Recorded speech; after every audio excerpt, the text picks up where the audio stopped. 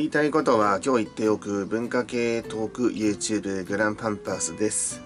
XY の話ですね。あの、時間とかの関係でラジオ配信になってね、しまって、うん、本当はこれは顔出しで話したかったんですけど、仕事とかもろもろの準備とかあってね。はい。あの、ヨシキスーパースタープロジェクト X の、まあ、シーズン2と言うべきなんですかね。まあ、でも、シーズン2なのかな。手越優也さんが、その XY に加入するに至る経緯といいますか、そういった形の部分がありました。あらかじめ DayDay で、あの、山里亮太さんとかの番組で、朝の番組で、手越さんが出ている映像は、まあ、チェックはしていて、その流れで見ましたね。まあ、そこでも、なんていうか、確か、ドキュメンタリー始まるからネタバレはあんまりできないですからみたいな感じのは言ってたから、まあそれこそ、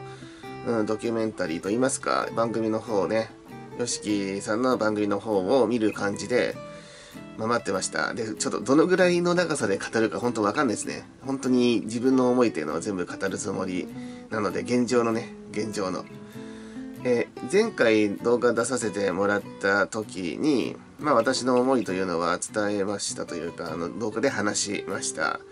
なんかね、まあざっくり言うと、まあニュートラルかなと最初は言っていたんですが、話していくうちに実際にはニュートラルよりは少し否定が強めだっていうところの部分には言って、ただ番組は見てみないと、あの、ただ批判するだけなんていうのはね、あの、できないので、それは一番やっちゃいけないことなんでね。だから番組は見てから判断するっていう風にはそこでも言いました。でした。で、コメントでいただいた話で、まあやはりいろいろな立場の感じで語ってくれる人がいて、私もどちらかというと、その、その立場っていうか、そういう話で、XY の13人のプロセス、ストーリーっていうものを大事にしたいファンの人、まあそれは私も含め、で、その、この XY のオーディションのファンの人もそうだし、あの、メンバーにね、オーディション番組、ザ・ファーストおよび0年0組アブちゃんの教室に参加していたメンバーがいる関係から、まあ、あの、そこのデビューグループ、BE:FIRST および竜宮城のファンの方とかも含めの話ではあって、私もね、そちら側ですね、とにとにかくね、13人のストーリーというもの、というものがやはりあるから、そこに一つ加わることによってどうなるかっていうところ、そこが心配だっていうところ。で、手越優也さんのファンの方の反応っていうところ。あの、実質ソロになってから、テレビとかで見るっていうのも結構久々だったっていうような感じの話も、まあコメントっていうよりはもろもろ見た上で思ったんで、そっちの立場からっていうところもあるかなっていうつもりあの、ちょっと言葉おかしかったけど、そっちの立場からの人の話。で、まあ、ヨシキさんのファンの、まあ、立場みたいな感じ。で、あとは、あの、手越さんが入るっていうので、ニュースでちょっと、あの、話題になってるから、じゃあちょっと見てみるかっていう感じのもの。大きく分けてその4つですかね。うん、XY13 人のストーリーが好きな人、XY のファン、および、先ほどの2つのオーディション出身者のファンっていうところ。で、手越さんのファンの人、YOSHIKI さんのファンの人。で、話題になったからちょっと見てみようかなって人。まあ、ざっくり大きく分けるとこの4種類があって、話題性としてはそこがいろいろとこうね、こう、全部がグルーブしていって、それがその、まあ、料理に例えるのもどうかと思うけど、鍋物みたいな感じで全部が合わさって寄せ鍋みたいになっていると。で、まあ結果的にね、あの寄せ鍋が今ちょうど寒い時期ですから、そこにやるとみんな、お、なんかやってるなと思って寄ってくるということにはなる。うん。まあその感じでしたね。で、その上で、まあ番組見ました。で、手越祐也さんについても、名前はもちろん知ってますが、バラエティ番組とかをそんなに見てきた人間でもなく、で、まあ、もともとはね、現 STARTO ENTERTAINMENT のタレントの楽曲とかも、 SMAP とかね、 KinKi Kids の時代はあれでしたが、その後は正直あまりっていうところだったんで、まあ、あの、手越祐也さんについても、あまり存じ上げず、うん、ただ明るい人だっていうぐらい、ポジティブな人なんだなっていうぐらいのところだったんで、で、それであの、まあ、今回の番組を見た感じで、まあ、手越さんのナレーションで始まって、経緯とかももろもろあって、で、そうですね。まあ、とにかく、一番最初に手越さんが私も含めた大半の人たちが思っていることは本人が一番それを最初に語っていたのでそこの部分は何て言うかまずはうん共通して感じていたことなんだなっていうところはありました。具体的に言うと、まあ、13人多いじゃんって話が始まったようだけど俺いるみたいな感じのところから来てそこによって受け入れられるのかどうかっていうファンのこととメンバーのことっていうあの、そうなんですよねだからまずはその13人のメンバーが俺を受け入れてくれるかどうかっていうところにそこにフォーカスがいっていたのはまずはその段階でうんなるほどって思ってじゃあちょっと番組見てみるかっていうその段階ですねうん。安心したっていう風に言うよりは、そこの部分は認識としてあるんだなっていうところで、じゃあ、とにかく番組を見るかっていう、そのぐらいの感じですね。まずはね。うん。そこから始まって、で、あの、ゼップダイバーシティのライブに手越さんがいたんだなっていうところを何にも知らなかったんでね。私もその場にいたもんですから。うんまあ、びっくりですね。で、私もそのゼップダイバーシティのワンマンライブ行って、そこで間違いなく彼ら XY13 人でのライブがあのすごいって思ったんですよ。だいぶ盛り上がったし、うん、そうなんですよ。で、あのー、その上で、あ、そうだ、コメントでもいただいたんですけど、私はその XY の楽曲がライブではたくさんあるっていうのはもちろんね、知っています。あの、前の動画でも語った気もするんですが、ちょっと伝わりきっていなかったようで、あの、曲がいっぱいあるのは知ってて、で、それをそのサブスクとか音源化っていうのがなぜできないんだろうっていうところが疑問で、13人の段階でそれを音源化するとかそういうのができたんじゃないのかなっていうところは今でも疑問には思っています。うん。で、まあ、その上で、手越さんが入ることによってですけど、うん、そこで手越さんが、まあ、どういう感じになるかっていうところで、うん、それこそ番組とかでも語ってたんですが、えっと、番組っていうのは、まあ、あの、デイデイの方のやつで、うん、サブプロデューサー的な立場でもっていう風な感じで言ってたんですね。そう。で、手越さんのことも今回の XY のドキュメンタリーといいますか、今回のあの、Hulu とかでやってる番組で初めて見て、まあ、見たのは TVer ですけど、うん。そこで、まあ、プロデュースも自分で楽曲も作り、自分で演出とかね、音響照明すべてっていうところのやつをやってるっていうのは、まずそこの部分は初めて知ったというか、まあ、ソロでやるっていう形ではそういうことなんだなっていうのは、当然あるんですけど、これは職場でね、あの、いろいろと、まあ、音楽とか、あの、アイドルグループとか、いろいろなもの、あの、ファンもいるし、業界とか知ってる人もいるんで、まあ、あの、エンタメ業界での仕事をしてるんで、私も。うん、だから、そういう話はして、だからその手越さんが、まあ、ソロで、もともといたグループ、もともといた事務所の力なく、一人でゼップ埋めてるっていうところの話とか、まあ、力はそれこそあるって話はもともと聞いてて、で、そのうちで、その流れで自分で演出とか、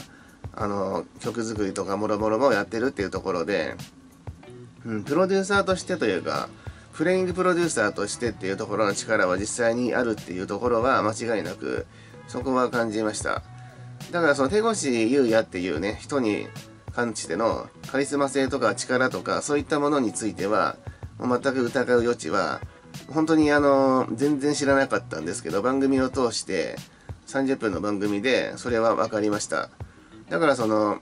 手越優也っていう才能について、疑うところは今は1ミリもありません。あの、彼はスターだと思います。で、そこで、じゃあ一番思ってるのが、まあ、ファンのこともそうだけど、メンバーがどう思ってるのかっていう話で、で、ここ何日かの間で、どうしてもちょっと憶測みたいなところとかも出てしまっているし、で、実質あの、どうなってんのかなっていうところは、あの、実際のところは、番組の中でも7月とかにもともとその初めてメンバーと会っているからそこからもう3ヶ月経っているんで今の現状がどう変わってるかっていうのはね分かりませんし YOSHIKI さんも手術とかをしたりした部分もあってメンタル的にもねもともとメンタル強い方ではないけどねでもうん今現在の YOSHIKI さんのねそれもあって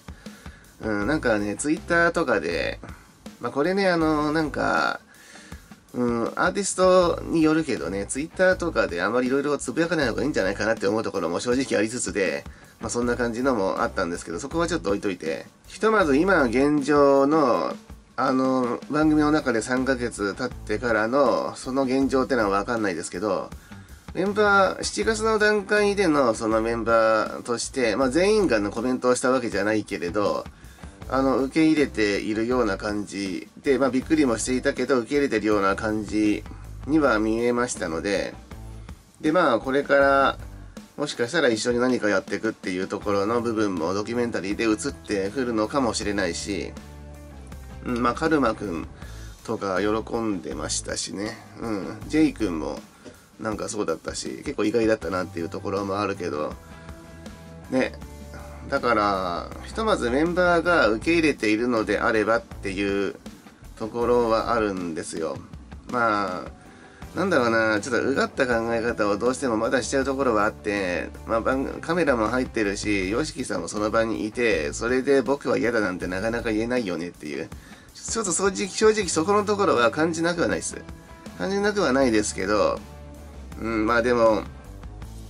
何ですかね。YOSHIKI っていうプロデューサーのグループっていうのに、あの、やはり加わった宿命っていうところではあるだろうなっていうところで、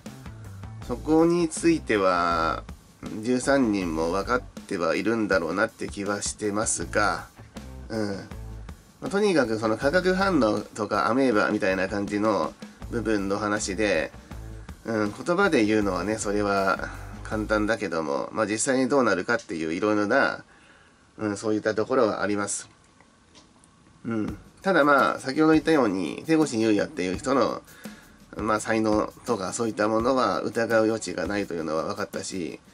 そこが本当にうまく融合すれば面白いことになるんじゃないかなとは思いました。で、メンバーが本当に受け入れてくれているのであれば、そうなのであれば、あの、そこは私も13人のことをね、応援していたいと思っているから、あの、彼らのためになるのであれば、見守ろうかなと思います。うん。そう、見守ろうかと思いますが、実際のところ、一番この、まあ、多分サムネイル率直に語りますみたいなことを言ってると思うし、受け入れられた部分と心配な部分っていうところの話もしてるかもしんないけどね。うん。見守るっていう感じですね。でも、あの、とにかく、なんていうか、否定的なことはひとまず言わずにというか、否定的なことっていうよりは、とにかく、あの、なるべく共通項を見つけていきたいというか、ポジティブな部分を見つけていきたいなっていうふうには考えるようにはします。で、本当にこれからなんでね、実際どういう感じになってるかっていうのも含め。うんでね、まあ、あの、とにかく、見守ろうっていうところと、メンバーがひとまず受け入れてくれてる感じのが見えたので、それはじゃあ、そういう風になりました。で、手越さんの才能についても本当にそうだし、あの、ピーちゃんのことをね、すごく褒めてくれたのも嬉しかったですし、うんで、サブプロデューサー的な感じで楽曲プロデュースとかも、もろもろとかそういったところ、まあね、あの、XY 現メンバーもね、曲作れる人もいるから、で、これ正直、ヨシキさん主導じゃなくて、手越さんと XY メンバーのそこの主導で、で、外部プロデューサーとかも使って、それでいけるんであれば、で、あの、楽曲もサブスクとか出せるんであれば、うん、その方がいいと思っているんで、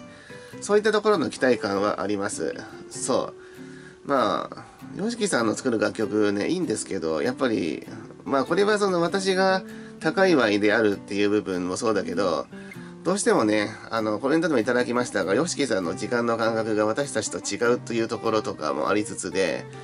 うん。まあ、全何が正しいかなんて分かりゃしないんですけど、ただ、最低限サブスクとかを出してほしいなっていうのは、そのさっき言ったライブで聴いている楽曲についてもね、うん、思っているんですけど、そこを手越さんが入ることによって、きっちり自分で主導して、あの、生きやすくなるっていうか、まあ、メンバー13人が結局芸能界としてはね、新人なわけだから、そこに YOSHIKI さんへ、まあ連絡も取りづらいだろうし、言うっていうのが難しいとして、手越さんがそこで言ってくれるんだったら、それは確かに手越さんが入る、あの、そういう意味も、その手越さんのタレント性は才能もそうだし、あの、まあ、橋渡し役だったりとか、まあ、本人もあの中に入る形での橋渡し役っていう意味での大きい意味はあるとは思いました。はい。で、その上で、あの、率直にまあ、心配なことっていうのが、やっぱソロもね、やりつつで、あの、活動の14人で XY もやりつつっていうところの部分の話があるわけですけど、あの、ちょっとそれについてね、あの、あの、厳密には違うんだけど、似ている感じのグループのオーディションをちょっと追ってたのがあったんで、本当に大丈夫かなっていうところは、あの、そこのグループと比較してみて思ったのがあって、あの、アンレイムっていうあのガールズグループがあるんですね。あの、まあ、これがその AKB48 のメンバーと一般参加のメンバーで一緒にやっていくっていうグループなんですけど、まあ、こちらがですね、えっと、倉野成美さんっていう方が、えっと、AKB としては結構ね、もう中堅どころで実力もある人で、ただこの方がキャプテンに、ね、なるというところがあったので、それであの卒業をしてっていうところがあって、まあ、忙しくなるからっていうところ。でもう一人一般参加の方もねあの卒業したいというのがあって現状5人でやってるのかな、まあ、とにかくそういうところがあるんですけどなんだろうなあのですねまあ、忙しくなってくるとどうしても両立って難しくなってくるっていう話なわけですよ。でそもそもあの AKB の公演とかもそのそのアンレイムのメンバーとしてあのやりながらでアンレイムもやるっていうところが、実際のところ、あの、両立っていうのが結構大変そうだなって思っているんですね。で、まあ、倉野成美さんに関しても、もともと AKB 公演もあったから、その流れでなかなかアンレイムの方の活動っていうのも軌道に乗せづらいっていうのがあったみたいなところがあるわけですよ。で、やっぱそういうことなんですよね。あの、なんていうか、両立って本当にプロでやるのって難しくて、それこそ手越優也さんソロもやりつつで XY もやりつつっていうところでめちゃくちゃ忙しくなりそうだしそこの部分っていうのをあの両立っていうのがあのどのぐらいまでいけるのかっていう形とどちらかに何て言うかうーん語りすぎないかなっていう、まあ、語りすぎないっていうか私は XY のファンとしての立場で XY にあのできればたくさん注力してほしいんだけど、ただ手越優也というソロでやるっていう部分も、やはり手越さんのファンとしては見たいわけですもんね。うん、だ手越さんのソロの方にも XY メンバーから誰が来るとかそういう形も可能なのかなとか、まあそういうことも考えるんですけど、実際そこですね。あの、手越優也さんが入って、そのかっこよくなるっていうところが、やはり、それが、うん、まあ、本人もねそうじゃないと負けみたいなことも言ってましたしそこの部分のところは見守りたいと思ってますけど実際そのなかなか理想通りにはいかないことというのもありあの両立できるかどうかっていう才能っていうのはやっぱりあのアーティストとしての才能とはまた別の問題な気がしているのでそこなんですよね。そこについてはあの一般人である自分たちの方がなんか分かるところってあると思って皆さんもそうじゃないですか。なんかアーティストとの才能っていうのはや絶対に彼らはあるけどあの現実の問題で仕事を2つこう平等にやるっていうのは難しいしうん。あのどどうどうなるかわからないわけですよね。それは私も、まあ、全然芸能ではないけどいろいろやってるのでそれはわかるし自分のその周りでもそういうタイプはいるのでそう。ね。まあね、あの、私たちの感覚と彼らのね、うん、感覚を一緒ってわけにはいかないんだけどさ、当然。はい。まあそんなところであります。だその倉野成美さんの話もそうだけど、まあ実質、そこのね、両立って難しい可能性もあるけどっていうところは心配ではあるかなと。うん、だから、うん、手越さんが本当にどのぐらい XY のために動いていただけるかっていうところと、あと XY メンバーも、まあ個性はね、まあみんな強いメンバーなので、あれから、あれからというか番組で見たところから3ヶ月は経ってるわけで、そこで今現状どうなってるのかっていうところの部分かな。うん。で、あの、ヨシキさんがちょっとね、ガイ、ガイ君がね、ヨシキさんのそのツイッターに対し、ボス、あの、ちょっと体調心配だから、あの、ちょっと飯でも行きませんみたいな感じになっていて、うん。だから、まあ、ガイ君はじめ、その XY メンバーが YOSHIKI さんのその心配をするっていうところで、そのプロデューサーへの、まあ、YOSHIKI さんへのそういう気持ちっていう部分は、現状で、まあ、直近でちゃんと続いてるっていうところはあるんだなっていうね、うん、そういうことを思いました。まあ、うん、まあ、それは当然なのかな。ただ自分自身がね、私自身が、まあ、あの、前回の動画では語りませんでしたが、正直ちょっと運営側への不信感をその時に思ってしまったんで、で、今も見守るっていうスタンスですから、完全にその不信感っていうのはまだね、拭えていませんし、そう、最近の私の動画にしては結構強い言葉が出がちだから、自分の気持ちが話しててなんとなくはわかりますね。ただ、先ほど言った通りですね、もろもろの感じで見守っていこうかなっていうところは、間違いなく思いました。まあ、それは手越優也っていうあの存在に興味が出たっていうところがでかいかなと思っているので、うん、そこですね。うん。まあ、XY メンバーがどういう感じで受け入れているか、そういうところも含めて、これは見守っていくべきだと思ったし、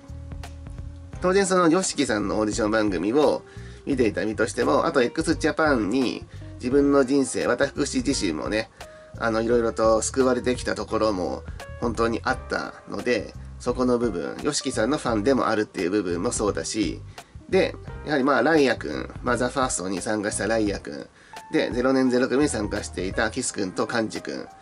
そこの部分も含めて、あの、見守りたい。もちろんね、13人全員だけど。で、カンジ君が手越さんのツイッターのフォローしていたのはさっきチェックしたので、まあその辺の含めてですかね。まあ今後やりとりとか、SNS 上でやりとりがあるかわかんないけれども、まあそんな感じになります。はい。まあだから XY もそうだし、手越さんのもそうだし、まあ、XY のパフォーマンスとか MV とかはチェックはずっとしてるんで、手越さんの曲とかね、まあ、ソロになってからのところの部分か、そこの部分をチェックしたいっていうのはあって、で、あとあれですね、全然知らなかったけど、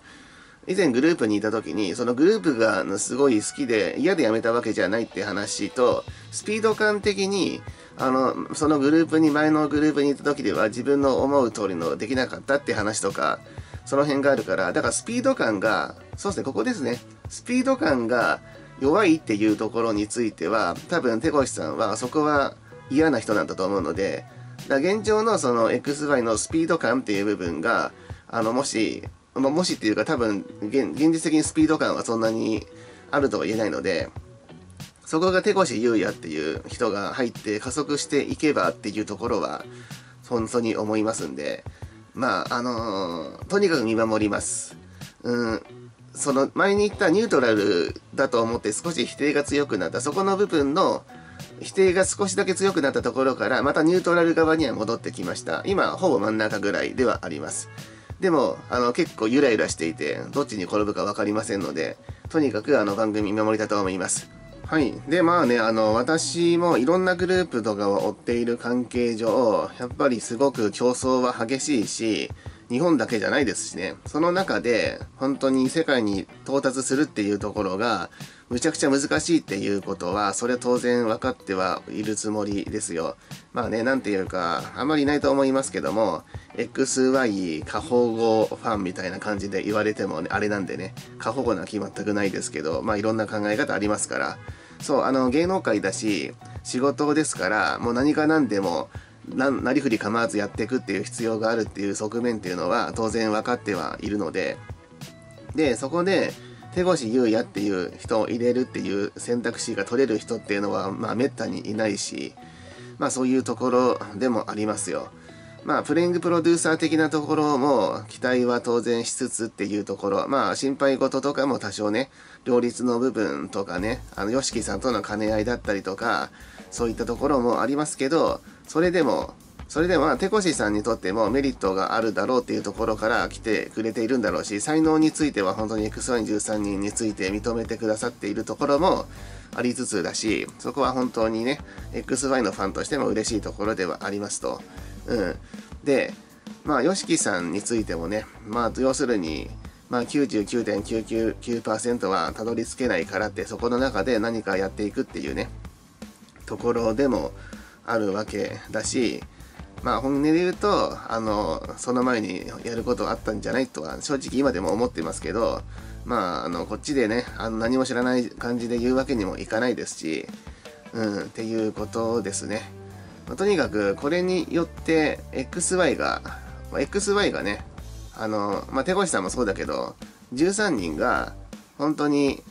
あの今3ヶ月経った段階で手越さん受け入れ状態がすごく今あって一緒に仲間としてやっていけていてその上であの本当に動きがスピーディーになるんだったらあの本当にそれはありがたいと思っていますよ。そういったところも全部含めてまだまだ正直わかんないですし、ドキュメンタリーの番組では3ヶ月前ぐらいの段階だし、まあ番組続いていくと思うので、その上でっていうことではありますよ。見守っていくっていうのはね。まあ前回にね、実は語ってるんですが、結局あの、今後自分が語らなくなったらお察しくださいって話は実は言ったんですが、前回の XY の動画で、まあ、こうしてね、語って、しかも自分でも思った以上熱量で上がって、語っていて、多分30分は言ってないと思うけど、結構語ってるんで、あの、なので、思いというものはあるし、見守ろうということはあるし、決してその幻滅して語りたくなくなったってことではなくなったというね、そこの部分ではあるので、まあ、はい。自分としてもちょっと安心はしましたね。はい。やはり私は、XY のキスのファンなので、はい。彼がね、彼の才能を本当に生かしていけるような感じのグループに本当にね、今後なっていってほしいと思ってますよ。まあどうなっていくかわかんないですけど、それも含めて全部見守っていくつもりでございます。はい。では、この辺で失礼します。言いたいことは今日言っておく、マシカとの語り部、グランパンパースでした。はい、ここまで見ていただきまして、あるいは聞いていただきましてありがとうございます。えー、皆様のおかげをもちまして、登録者数様が2万3000人を超えました。本当にありがとうございます。引き続き3万人を目指して、あの、頑張っていこうと思っております。もしまだ登録していらっしゃらない方いらっしゃいましたら、よろしければ登録をお願いしたいと思います。YouTube 登録は無料でございますので、大丈夫ですし、あの、仮に登録を解除したとしても、あの、皆さんに通知とかは行きませんし、私にもお知らせは来ませんので大丈夫です。はい。一度、あの、解除された方で、また、あの、また登録してやろうかなって思ったら、もしよかったら、また登録もお願いできればと思っています。はい。励みになりますので、はい。そしてもう登録してくださっている方はありがとうございます。引き続き精進してまいります。それでは失礼します。